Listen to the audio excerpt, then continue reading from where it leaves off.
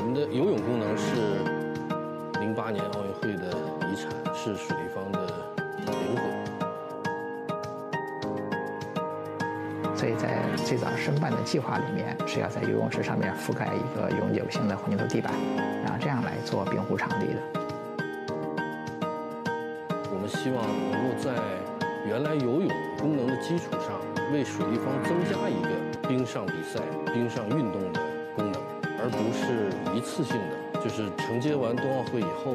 就失去这个功能了。嗯。冬奥申办成功的那个时候，然后我和这一方的杨总，我们一起来讨论这件事情的时候，我们我们的第一反应就是，我们必须要实现一个可以转换的一个比赛场馆。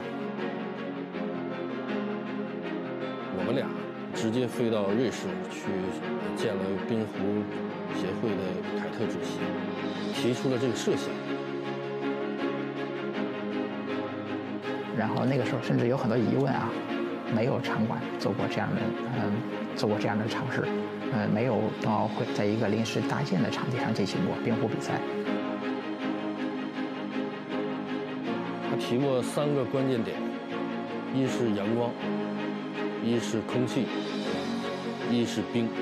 这是我们在后期在冰水转换的这个方案落实过程中所最最关心、难度最大的几件事。就是水立方这个比赛大厅是一个体积空间非常大的这么一个比赛大厅，要把这么大的一个空间里面，从一个高温高湿的一个环境。转变成一个低温低湿的环境，然后这个需要有相应的这些研究和技术来支撑这些工作。呃，阳光我们通过这个遮黑系统，然后通过一套整个膜结构的升级，解决了外围的阳光辐射热的问题。室内环境研究的团队，他们从场馆的整个呃空气环境上对这个场馆做了升级，而冰是呃。最最核心的话题，不论是什么样的方案，它的核心任务是保证这块冰，要保证冰的稳定。这冰场里面包括了呃钢结构、混凝土结构以及保温层、冰面，呃这一套机构的力学的性能。目前的分析手段，可以在电脑上把这几层构造一次性的放在电脑里面去。研究，这样呢是我们可以综合的看到最后的运动员在冰上产生的压力、震动、破坏的这个结果。这实际上是基于强大的计算能力。当然，我们也进行了实地的五种组合的这个试验。冰水转换四个字，啊，这样一种啊转换，它可能听起来非常简单啊，后面呢包含了非常谨慎的思考，包含了非常多的智慧。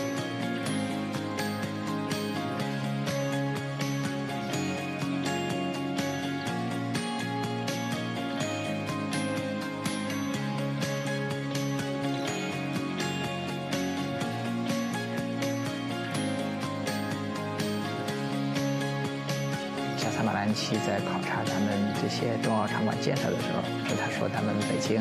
啊，在以一个非常有智慧的方式在准备奥冬奥会，肯定咱们北京持续利用这些场馆的基本方向。我觉得这种策略呢，也是为奥运会的呃可持续策略树立了一个典范。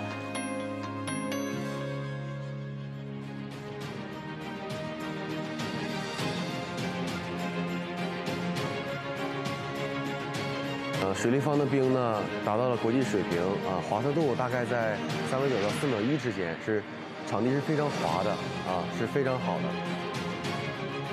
这场比赛实际上就是要验证冰水转换的可行性。这个比赛呃成功举办，标志着冰水转换的这套结构体系是完全成立的，我们就会坚定的按照这套冰水转换的方式，在奥运会中呈现这个冰场。